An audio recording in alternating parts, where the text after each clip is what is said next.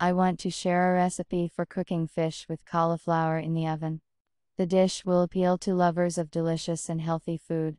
Fry the grated carrot and onion until golden brown. Preheat the oven to 180 degrees. We put the vegetables on the bottom in a baking dish. On top of them are portions of fish. Season with salt and pepper. Place in the oven for 15 minutes. Boil the cabbage lightly in salted water. Mix eggs with milk. Add spices to taste. Take the fish out of the oven.